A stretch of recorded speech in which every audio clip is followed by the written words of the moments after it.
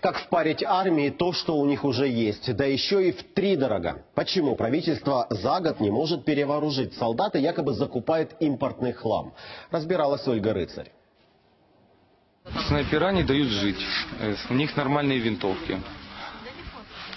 А у нас не очень. У нас обычные СВД, а у них немецкие, русские, усовершенствованные. У них 308 калибр, это, как правило, заграничные винтовки, 12,7 российского производства винтовки.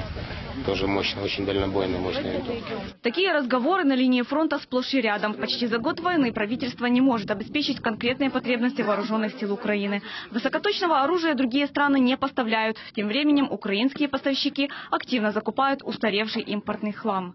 Об этом, ссылаясь на собственные источники в Минобороны, пишет издание «Зеркало недели». Якобы армии продолжают навязывать то, что у нее уже есть, а не то, что надо. Причем даже техника, проданная в минувшие годы министерством, как излишки советского наследия для последующей перепродажи за границу. Теперь цена этого вооружения обойдется бюджету намного дороже. От дивіться, високоточна зброя. А танк Т-72, а танк Т-64Б, який знищує танк противника. Ці танки закуплені нашими бізнесменами, олігархами, які наживались на колись на імпорті, а зараз на експорті. І зараз на сьогодні держава має закуповувати у олігархів танки в 3-4 рази дорожче Из современного вооружения 21 века Украина может сама разрабатывать, поставлять и ставить на поток совсем немного, особенно в современных условиях, до 15-20% всего. Зачем Минобороны покупать танки Т-72 разных модификаций, спецмашины на базе БТР-3Е, бронетранспортеры «Саксон», «Дозор» и «Века»? Для них надо создавать новую структуру обслуживания и ремонта, в то время как у вооруженных сил есть достаточно своих БТРов.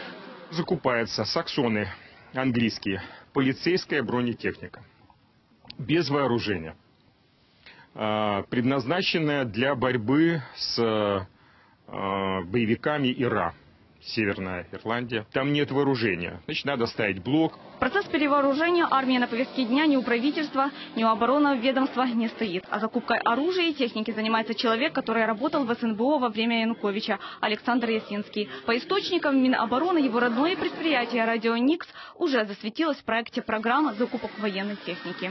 Зачем покупать втридорого ненужные бронетранспортеры иностранного производства? И кто на этом зарабатывает? На наш запрос в Минобороны не ответили. Здесь сегодня празднуют. А все импортные закупки боевой техники держат строгой секретности. Ольга Рыцарь, Валентин Белич. Подробности телеканал Интер.